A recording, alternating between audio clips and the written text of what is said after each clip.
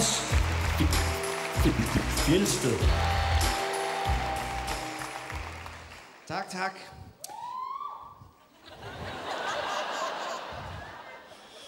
Så. Ja, det var, hvad jeg havde brug for. Tak skal I have. Der var en, der jublede af mig, du. Jeg er flyttet fra min øh, dejlige lejlighed på Nørrebro ud i et lille rækkehus. Yes, yes, jeg er blevet til forstadsfjelle. Og øh, og det var sådan en gammel dødsbo, vi købte, så det skulle sættes i stand. Og jeg er ikke specielt handy, for nu at sige det pænt. Øh, jeg er decideret udulig, hvis jeg skal være ærlig. Jeg kan, ikke, jeg kan ikke finde ud af noget som helst. Og mine venner er sådan, du må kunne lidt, Anders. Du må da kunne hænge et billede op. Ja, hvis der er det der abesnot, kan jeg godt lige trykke det fast.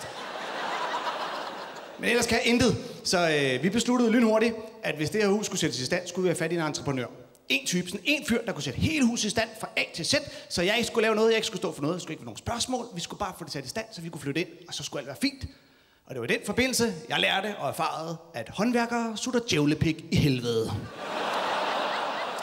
Men jeg er ked af at sige det, det er altså en flot retarderet mongoltosser, der skulle have sprøjtet Ebola lige ind i øjnene. Bare, øh.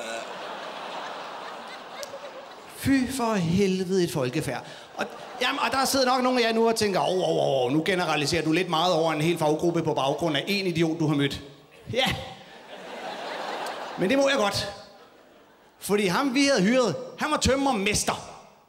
Og hvis han nogensinde har vundet mesterskabet inden for det der, ikke? Så må de andre, der stiller op, fandme være udulige, mand. For sindssygt vores, han var håbløs. Jeg mener det. Jeg kunne have gået ned til bageren og købt håndværker, der havde været bedre kvalificeret.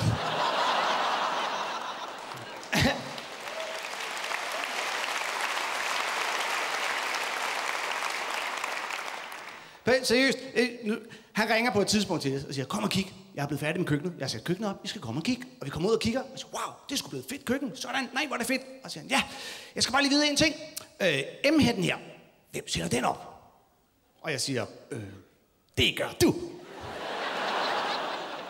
For jeg troede, at øh, vi legede sådan en form for, hvem sætter M-hætten op? Men det gør du, det gør jeg nemlig. Yeah. Men sådan legede vi slet ikke. Fordi vores øh, håndværker siger, øh, øh, det kan jeg da godt gøre. Du skal bare vide, at det er rigtig dyrt at sætte den her emhed op, fordi at, øh, den skal jo skæres ind i loftet og sidde fast, og skal den ud gennem taget med noget udsugning. Det kommer til at koste en masse ekstra penge. Og jeg siger, nej, det gør det jo ikke, for vi har jo lavet en aftale, om du skal sætte i stand. Du har fået nogle penge til at sætte køkkenet op, og, øh, og derfor skal du også sætte emheden op. Og så siger han, nå, men emheden er aldrig en del af køkkenet.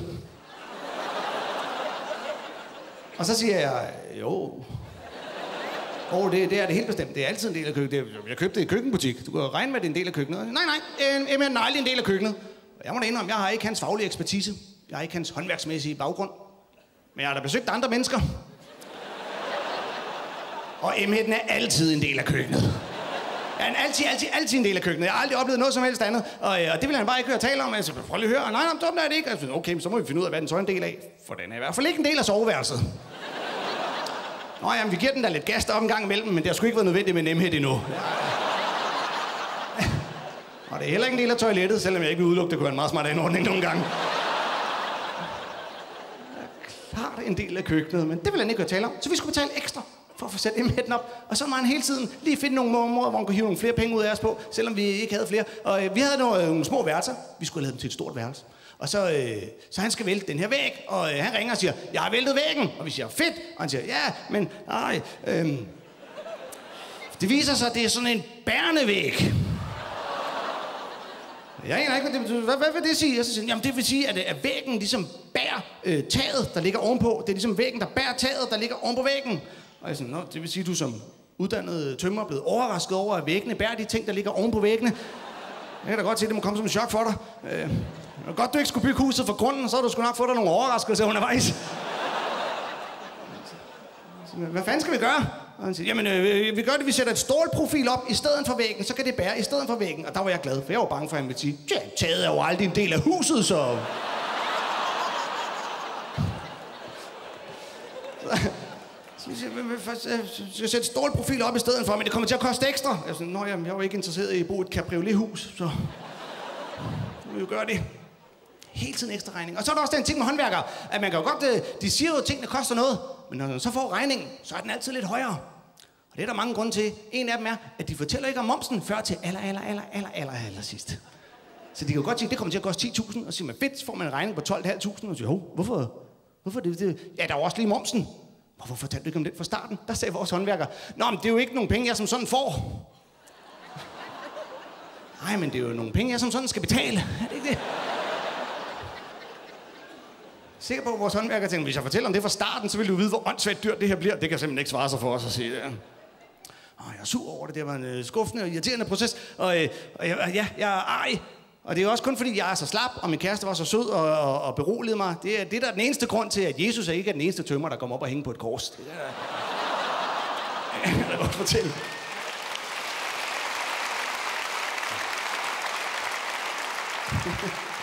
Ja, tak.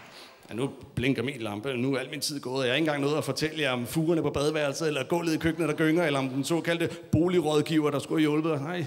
Og det værste er, jeg kunne have undgået alt det her, hvis jeg bare havde været lidt kvik, hvis jeg bare havde været lidt erfaren. Altså, altså firmanavnet på den entreprenør, vi brugte, skulle have advaret mig, om jeg skulle holde mig langt væk. Hans firma hed øh, Sjællandsk Bygningsservice. Ja, det er ikke nogen joke på. Det vil jeg da bare lige sige nu, vi var så mange samlet her i aften.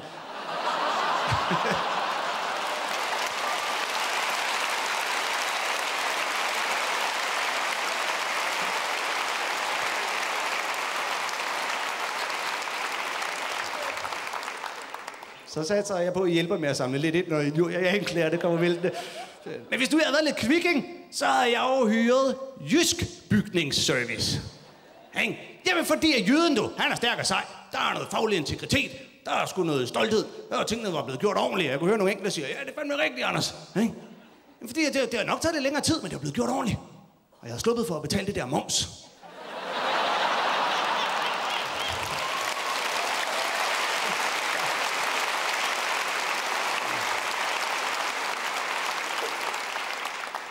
Skal høre, når jeg fortæller den her historie i Jylland. Det er fantastisk.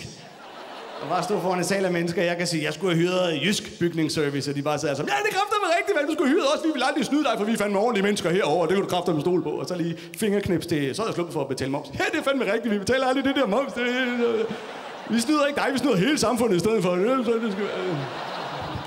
Tusind tak, fordi I er kommet grine af os og støtte. Jeg sætter lige stor pris på begge dele. Mange tak skal I have.